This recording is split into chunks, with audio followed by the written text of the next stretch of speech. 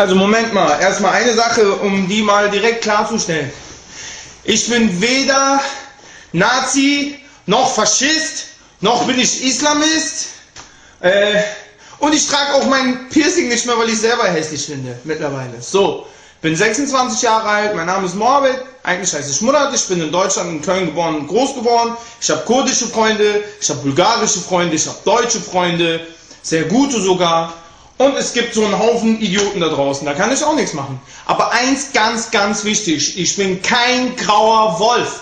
Ich habe nichts mit der MHP zu tun und hatte es auch nie. Wir haben zwei Songs gemacht, Pack der Wölfe und Wolf zu. Pack der Wölfe war für den Film, guck nach, bei Wikipedia, es gibt einen Film, Pack der Wölfe, da waren wir 14, 15.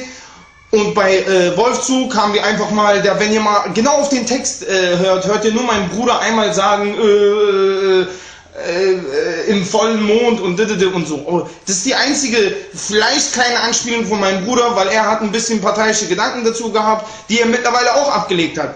Also, ich spreche auch im Namen von meinem Bruder. Wir sind weder Rassisten, noch Faschisten, noch Islamisten. Wir sind gläubige Moslems, stolze gläubige Moslems. Wir sind Türken, wir sind stolze Türken, ne mutlu diyene, ja. Aber wir sind keine Extremisten.